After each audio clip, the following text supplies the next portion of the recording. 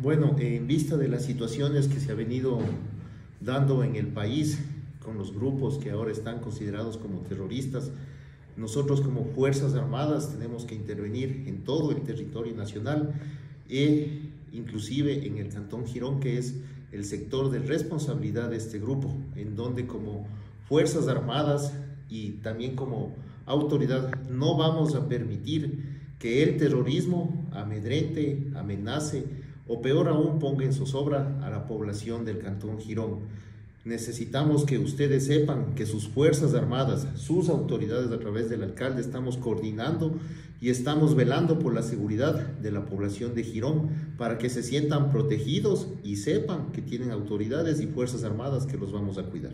Por intermedio de esta reunión, agradecerle al Teniente Coronel Cristian Suárez y a quien va a fungir las veces de él desde el día de mañana al Teniente Coronel Pozo. Agradecerles por la preocupación y sobre todo por tomarnos en cuenta como Cantón Girón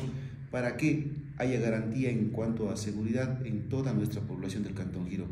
Decirle a la ciudadanía del Cantón Girón que estamos preocupados por su seguridad y que estamos articulándonos tanto con las Fuerzas Armadas como con la Policía Nacional para garantizar el buen vivir de cada uno de ustedes.